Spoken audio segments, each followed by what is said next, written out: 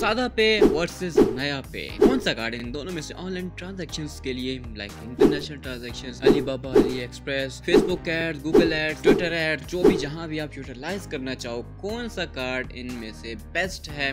और एक साल से ज़्यादा इन कार्ड्स को यूज़ करने के बाद मेरा क्या ओपिनियन है? और मैं कौन सा कार्ड अभी रिकमेंड करता हूँ आप सबको? और मुझे क्या क्या प्रॉब्लम्स फेस आए इन दोनों कार्ड को यूज़ करने में? वो सारी चीज़ें बताऊँगा मैं आज इस वीडियो में।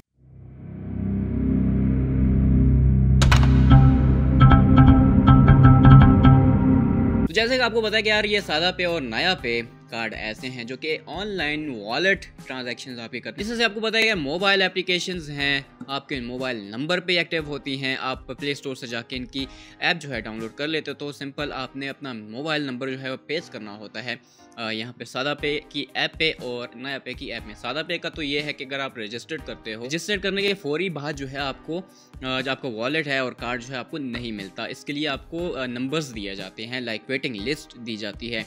डिपेंड करता है seventeen thousand twenty thousand eight thousand seven thousand depend करता है जब भी आप इसको अप्लाई करो। जबकि नया पे की बात करें तो नया पे में ऐसी कोई सीन नहीं है जैसे आपने वॉलेट बनाया, अपने, अपना नंबर वगैरह सब कुछ दिया वेरिफिकेशन की और वेरिफिकेशन के लिए नया पे की टीम की जानब से आपको कॉल की जाएगी और वेरिफिकेशन के लिए कुछ आपसे क्वेश्चन पूछे जाएँगे, वो क्वेश्चन का आंसर देंगे और पूरी तौर पर जो आपका वॉलेट है, वो एक्टिव हो जाएगा और within two to three days में आप अपना जो नया पे का कार्ड है मंगवा सकते हो अप्लाई कर सकते हो उसके लिए और कुछ पेमेंट भी इनकी होती है जो कि एडवांस में आपने ने पे करनी होती है और जब कार्ड आता है, आप इसको एक्टिव वगैरह करते हो रिफंड वापस हो जाती है। बाजूकात ऐसा होता है और बाजूकात ऐसा होता है कि आपके वॉलेट में hundred to five hundred rupees हों आप कार्ड मंगवा लो तो डिटेक्ट ही नहीं होते। कभी कभी हो जाता है कभी कभी नहीं होते हैं डिपेंड करता है सिचुएशन पे, जो भी उनको लग रहा हो। तो अब बात कर लेते हैं, मैंने इन कार्ड्स को कितने साल यूज़ किया? मतलब एक साल तो मैंने सही प्रीमियम किस्म का जो है इन कार्ड्स की यूटिलाइजेशन की है। ओवरऑल सारे कार्ड्स की मैं वीडियोस ऑलरेडी बना चुका हूँ अपने चैनल पे, अगर आप देखें तो ईच एंड एवरीथिंग जो है वो सिंगल डिटेल में मैं बता चुका हूँ। NayaPay Zindigi bank account easy पैसा चेस कैश शो पे ईच एंड एवरीथिंग जो कार्ड पाकिस्तान में इस वक्त चल रहे हैं कुछ कुछ छोड़ के तो उनको भी इंशाल्लाह आगे कवर करेंगे। मैक्सिमम जो है 90 95 परसेंट कार्ड हमने पाकिस्तान में एक्टिव जो हैं अभी, वो कवर अप कर लिए, आप जाके देख सकते हो। अब सादा पे वर्सेस नया पे की वीडियो बनाना क्यों ज़रूरी था? वो इस तरह ज़रूरी था कि इनमें कुछ ऐसी चीज़ें जो कि मैंने देखी हैं और मुझे फेस करने को मिली हैं, वो आपको भी फेस करने को मिल सकती है। इसलिए पहले से ही आपको आइडिया होगा कि अगर ये चीज़ मैंने ऐसे की है तो इस कार्ड में क्या डिफरेंस आ रहा है और इसमें क्या आ रहा है। वैसे पेमेंट्स की बात कर लें, इन दोनों कार्ड की तो पेमेंट्स में कोई डिफरेंस नहीं आ रहा। तकरीबन इनकी टैक्स जी एस वैट और ये सब चीज़ें जो है इंक्लूडेड सब कुछ सेम ही है।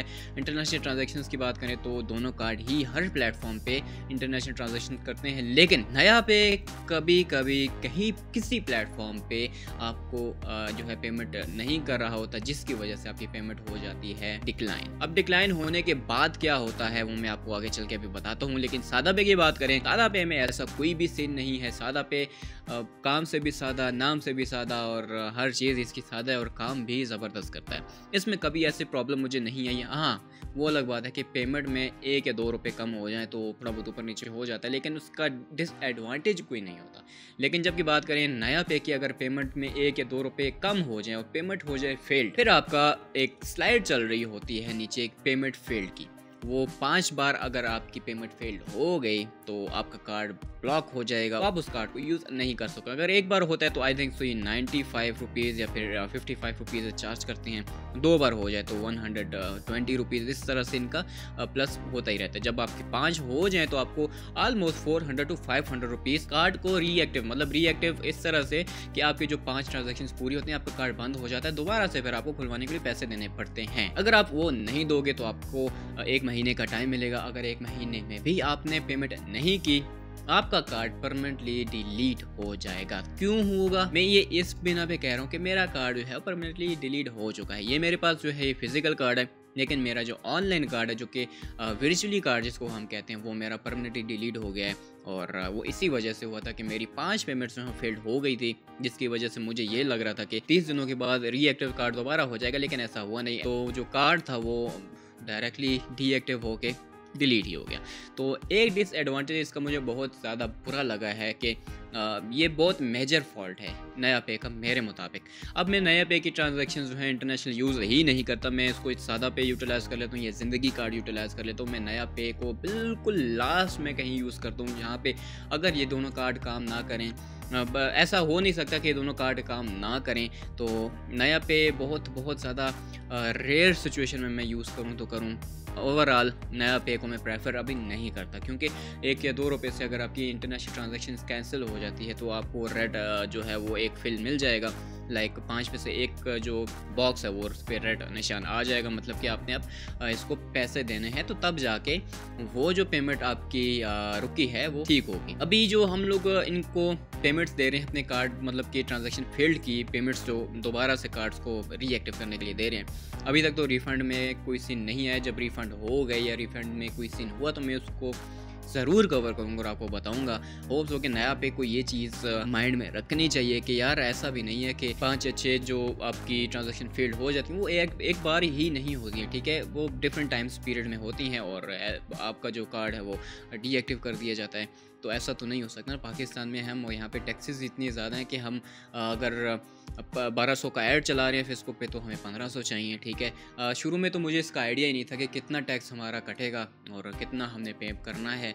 तो इसलिए मुझे समझ में ही नहीं आ रहा होता था और एक दो रुपये तीन रुपये दस रुपये बीस रुपये की कमी की वजह से कार्ड जो है ये ट्रांजेक्शन फेल कर देता था। और नुकसान इसका ये हुआ मुझे कि मेरा कार्ड जो है वीज़ा कार्ड फ़िज़िकल कार्ड नहीं वर्चुअली कार्ड जो है वो परमानेंटली डिलीट हो गया है मेरे स्टोर से। सादा वे की बात करें यार बेस्ट है यूटिलाइज करो जब तक ये आपको सर्विसेज़ दे रहे हैं। मैं एटीएम वाली सीन पे नहीं जा रहा। कभी ए में ये लोग पैसे चार्ज करने शुरू हो जाते हैं और कभी फ्री होती है। इफ़ आई एम राइट तो दोनों कार्ड में एटीएम चार्जेस हैं। और मेरा जो मैक्सिमम काम जो है इन कार्ड्स की यूटिलाइजेशन में वो मैं मैक्सिमम जो चीज़ें हैं ऑनलाइन ट्रांजेक्शंस के लिए ही करता हूँ। ऑनलाइन मतलब इंटरनेशनल ट्रांजेक्शंस नेशनल वाइज भी इंटरनेशनल वाइज भी और जो पैसे एटीएम से निकालना है, वो मैं बैंक कार्ड यूज़ करता हूँ, बैंक के एटीएम कार्ड। उससे ये होता है कि बैंक भी करीब है और बैंक की ब्रांचेज भी मिल जाती हैं, आपको फ्री ऑफ़ कॉस्ट आप निकाल सकते हो। जबकि सादा पे नया पे इनकी बात करें ए की तो इनके तो ए हैं नहीं तो आपको फ्री ऑफ़ कॉस्ट तो नहीं देंगे। Twenty twenty three twenty five thirty rupees आपके कट होंगे। तो ये है भाई इन दोनों कार्ड का डिफरेंस सादा पे अभी तक यार नज़र ना लगे इसको। SadaPay is the best card ever on mobile application ठीक है? मोबाइल ऐप जो हम डाउनलोड करते हैं मोबाइल नंबर पे बेस्ट कार्ड है। अभी तक इंटरनेशनल ट्रांजेक्शन के लिए जो मैंने यूज़ किया है कमाल का है।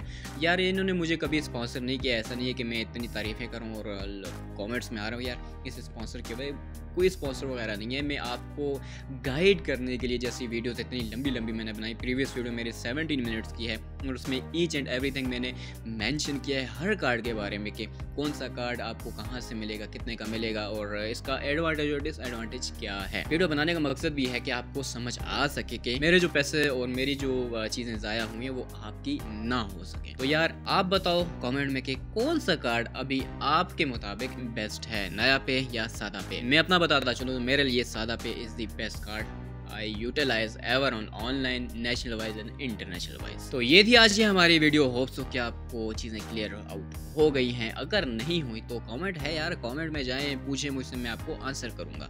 और अगर कमेंट नहीं करना है डायरेक्टली डीएम करना है तो इंस्टा भी है तो इंस्टा भी आप डायरेक्टली डीएम कर सकते हो। तो खुश रहिए, आप बात रहिए मुझे बेपी दो में याद रखिए। तो मिलते हैं अपनी नेक्स्ट वीडियो में, तब तक टेक केयर गुड बाय